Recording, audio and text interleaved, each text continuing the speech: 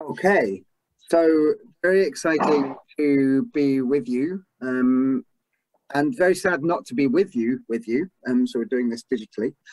Um, I'm Pete Masters. I work for the Humanitarian OpenStreetMap team. My colleague here is Heather Leson, who works at Solferino Academy, and we'd like to talk about this topic in two parts. So, firstly, some context and case studies, and then exploring what this means for OSPOs and local communities and what's the potential and where are the frictions. I just want to make clear at the start, when we talk about humanitarian, we're talking about it with a small h. So we're talking about people working in solidarity with people to save lives, alleviate suffering and restore dignity. We're not just talking about institutional, humanitarian institutions. So I no longer work at MSF, but I did work at MSF, so that's going to be my first uh, my first my first visit. So Médecins Sans Frontières, or MSF, is a huge medical humanitarian NGO operating in I think 60 to 70 countries currently. And I'd like to talk about a few different um, a few different and relevant um, initiatives from MSF. So I think the first serious engagement with open source at any kind of scale was missing maps. So this was um, leveraging crowdsourced OpenStreetMap contributions for humanitarian purposes, but at a scale not seen before. Um, interesting, an interesting outcome of missing maps. It really brought a different community to OpenStreetMap as a, as a project.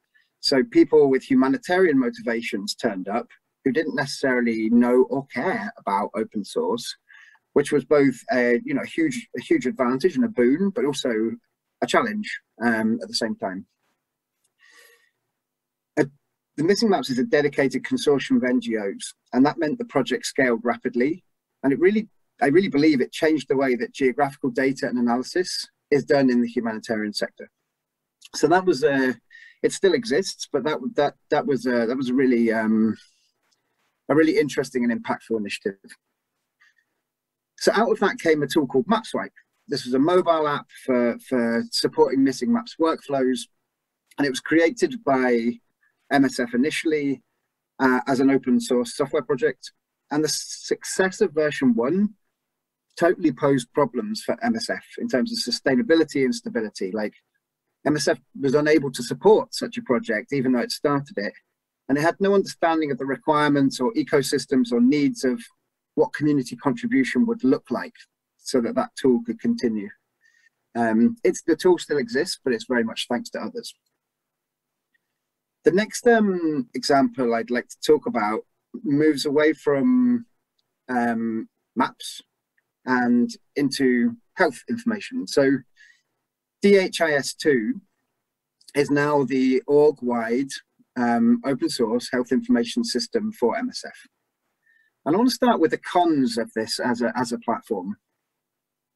Um, so firstly, MSF has no internal expertise of, you know, designing, configuring, any of the stuff needed to, to get a, an instance up and running um, in an effective way. Compared to like what was available in the closed market, the, the UX of DHIS2 is pretty bad. It's unintuitive, it's clunky. It's a very high maintenance burden. It's a very high training burden for staff and the configuration burden was huge. It took ages to roll it out. And I'm only going to talk about one pro, and that's equity. So MSF needs to be able to share data and tooling openly with ministries of health in places vulnerable to crisis. And in those places, ministries of health have access to open source. So despite the comparatively high resourcing and knowledge investment, this pro outweighed all the cons. And speaking to uh, the ex deputy medical director at MSF yesterday who oversaw this. He said it was a horrible process and we'd do the same thing again, just for that probe. And lastly on MSF, I just want to talk quickly about COVID. So the first one was PPE. Like the crisis was bad everywhere, but it was it was acute in in in places vulnerable to crisis. So MSF ran a project to design good enough replicable DIY equipment. And we really wanted to lean into open and open communities because there was lots of stuff happening. But we didn't know how. We didn't know how to talk to people. We didn't know where they were. we didn't know how to collaborate on designs or share knowledge. And so we ended up just designing for ourselves, um, which probably meant that we got a, a less than optimal product and we didn't contribute any expertise.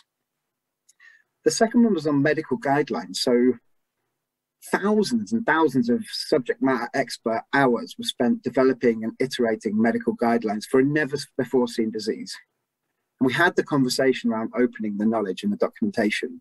But our lack of understanding of licenses, permissions, like the risks around ethical and legal implications, actually constrained a productive debate and meant we never even approached a decision, let alone made one.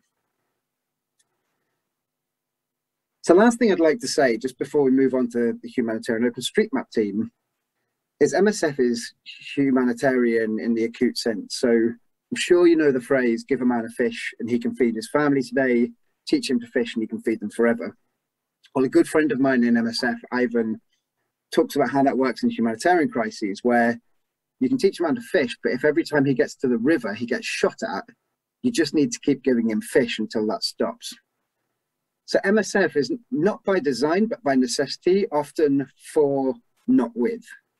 Um, and so I want to use that as a segue into the humanitarian OpenStreetMap team. So HOT is an NGO at the intersection of open source, geodata, humanitarian action and development.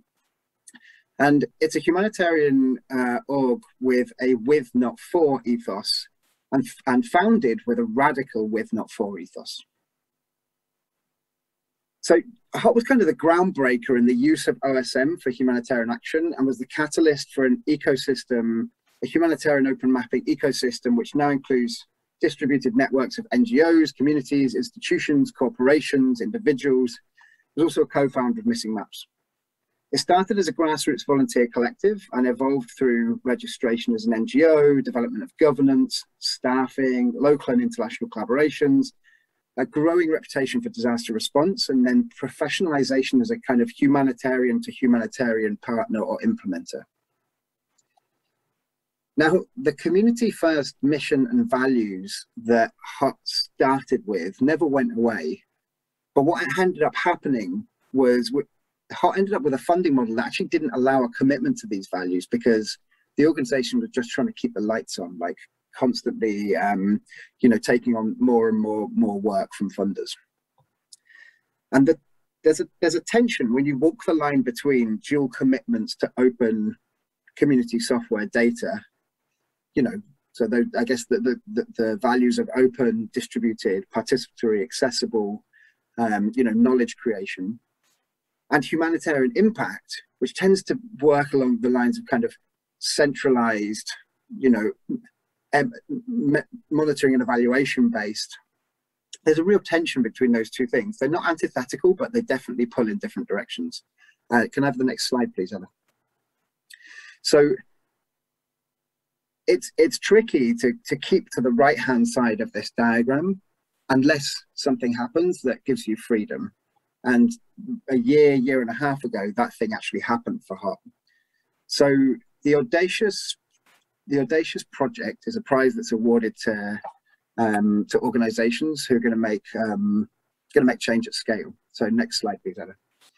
Um, this is a set. I'm not going to go into what Audacious is, but it was essentially a bunch of philanthropists who said, "We believe in what HOT's doing. Here's core funding for five years," and that's really allowed HOT to try and work out how to do the both. Try and work out how to do the local and the community first and marry it with the humanitarian, the small h humanitarian. And that's kind of where we are today.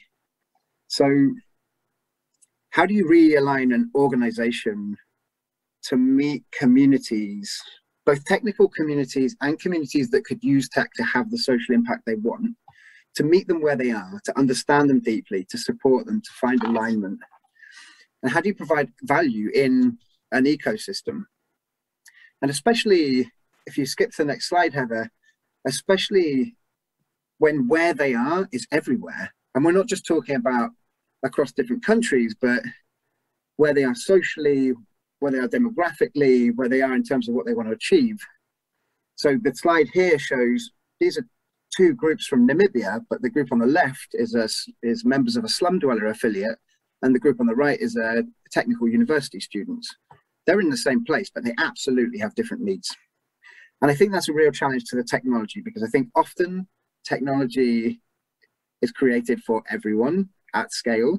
And I think we really need to think about depth and context. Um, so with that, I'm going to hand over to Heather for part two.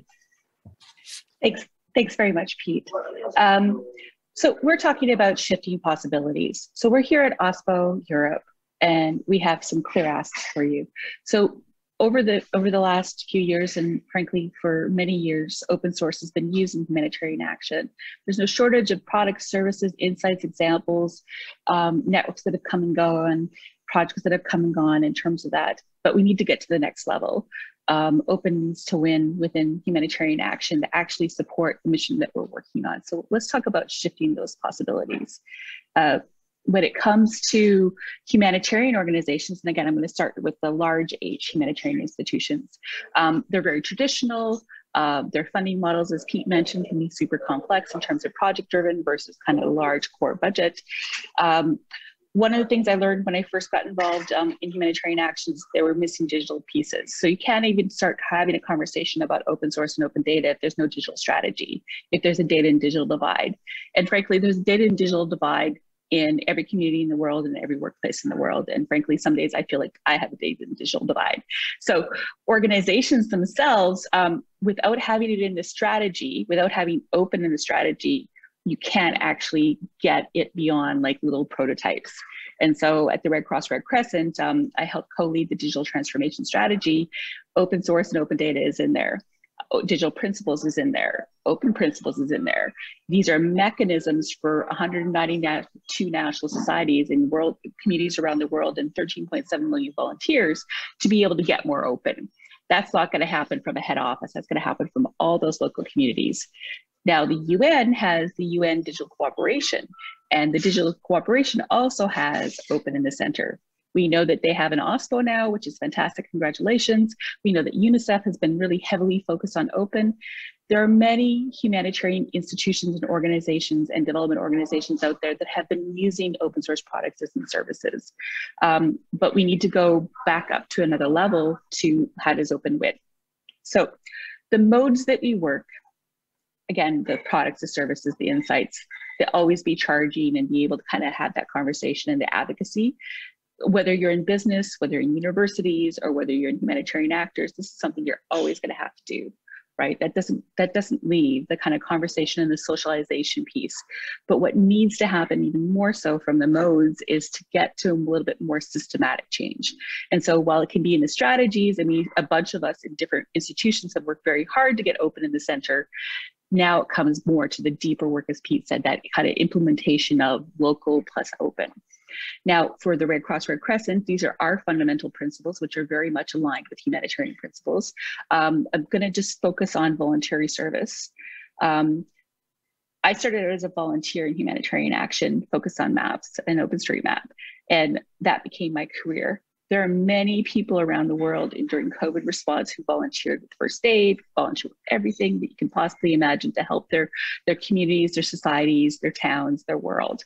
That idea of volunteerism is very much um, at the heart of many of our lives but the opportunity to be able to kind of volunteer with open is even more important. And there's certainly a large gap in terms of trying to build that forward. Now the open organization has principles about community and collaboration. So those become principles that we can map to fundamental principles. So those become talking points that i can use but it's more about the methodology of how do we open up an organization. You actually can't start with open source. You have to talk about principles and strategy and what does it mean for the core that you work. More often than not i don't actually even say open. I say, oh, well, you know, our principles say that we should collaborate in communities and we should really be adaptable and be transparent. They're like, yes, yes. I'm like, you know, that kind of sounds like open. And so that's how the conversations go, but we need to go beyond mapping principles. As Pete said, we need to start thinking about local communities. They are the first responders. They're the ones who understand the problem set. They have a completely different understanding if you talk to people who are working in open in different parts of the world how they apply open how they use it how they shift it for their own purposes. That is beautiful because then it's not a top down north american european version of open. It's an open that works from the community backwards. And what can we learn from those local communities on how they apply open and shift how we do it? That's one. And then two when we're thinking about open open communities are around the world there are lugs in every country in the world, right? If there's a lug in every country, how are they working with humanitarian and development organizations? If there's a Mozilla community, how are they working with it? There's a Microsoft open source community, how are they working with it? So local means aligning the different open communities with the existing communities and really truly listening and seeking to understand and thinking about that. So I'm talking about a small M movement, even though it says capital M. Yes, there, we can start talk talk about creating a new organization, but that's not what we need right here. What we need is a movement forward. This is not happening fast enough. 10, 11 years ago, I was in an organization where we were talking about the need for an open source network. It still isn't there, but what we do have are networks of networks, right? And networks of networks networks is where we can make that change. And networks of networks means the movement forward can happen faster. So I have kind of six examples that I think might help us in terms of movement that Pete and I put together. One, there needs to be a network centered resource, not an institutional centered resource. And a network centered resource can happen across uh, universities, businesses, city governments, country governments, um, and more importantly, civil society. The second thing is, is that we need to work on discoverability there are things like the digital public goods registry which are which are lists of organizations that are working in open source and open data. My concern is is that a lot of us in humanitarian organizations are not familiar yet. So how do we know and search and match our problem set with the problems that you've already identified. That discoverability means that we're duplicating things and we're also stuck because things aren't translated. And when we work in local communities around the world, we need to be able to work in their languages. It is respectful. It is how we seek a common language, and it's also how we can learn from each other. It was amazing to have multi-translated events that I worked on last year and listen to national societies and the Red Cross teach each other and help each other on best practices for COVID response. If there's any time that we need a small end movement to move open faster and forward, it is now. Fourth, when it comes to sustainability, OSPOs and open source, you're actually at a better place right now because humanitarian organizations are starting to understand why it's important and they see. And I think we're starting to get closer to that conversation around alignment. So the sustainability of open organizations, we need some help. We need also mentorship and, and partnerships so everyone talks about partnerships, but I think we're talking about deep mentorship. Where's the outreachy program for open source and humanitarian action and development to help us learn from OSPOs and learn from people who've been doing this? Because honestly, it's been it's been um, we've had small networks in the Red Cross, Red Crescent of people who are working on open. I talked to other humanitarians who are working on open, but we almost need a network-centered approach for ourselves and a little bit of self-help, much like you guys did in business for many years. So these common approaches can help us get forward, and open can win this way. And I'm super interested in the model open source program offices because the open source program offices offer a structure that we need, but they also offer uh, opportunity to be able to uh, think about sustainability and think about pardon me, uh, think about think about sustainability, but they also provide this huge opportunity to think through how we coordinate communities around it. So then it's not just putting things on GitHub, it's more about thinking about sustainability of the project and being a good open community member. And I think humanitarians want to be part of things that are codified. And so I'm not asking for an interagency steering committee on open source, maybe, but I do think that OSPOs are in governments, they're in businesses, and they're starting to happen in universities. Maybe they maybe they maybe they grow there, and then humanitarian development actors work around it, or maybe we put it in institutions. But first and foremost, it has to happen with local communities. So when I talk about open, um, you know, it's, it's very clear that Pete and I, we've tried to give you some examples of how we've worked in our institutions. We've, at the Solferino Academy, we've worked with two universities to build out open source products and services just to connect our global community it's been incredible to have their support over the last 18 months, if not longer, just to be able to connect our community during a difficult time. And so it's thanks to open communities that we're able to do that. But the communities that open up and how we work in our local communities around the world, that's the real power. It can't happen from a head office in Geneva or Brussels nor should it, or Washington. It really needs to happen in Dar es Salaam. It really needs to happen in, in Abuja. These are where the local communities are already working in civic tech hubs. So it's just a matter of aligning and being, getting closer to the problem set, but also thinking through how we have that structure, but not too much structure that strangles that opportunity for innovation. And then really just focuses on um, going beyond the little fires and going into kind of more network approach. So we hope that our questions around impact and getting towards open source program offices um, will give you some insights. And to be honest, this is just a starting conversation. Not a lot of institutions have OSPOs in the humanitarian space. Do they need them? I don't know. Maybe they just need to partner with them. And so if you are building an open source, um, uh, an open source program office, how are you working in your community for social impact? And how might you support people who are interested in doing open a little bit more? Yes, you have your core business models, but to me, um, if we've had anything from this COVID coma the last 18 months, it is too late to wait. And so thank you so much. And let's keep opening things up. Thanks, Pete.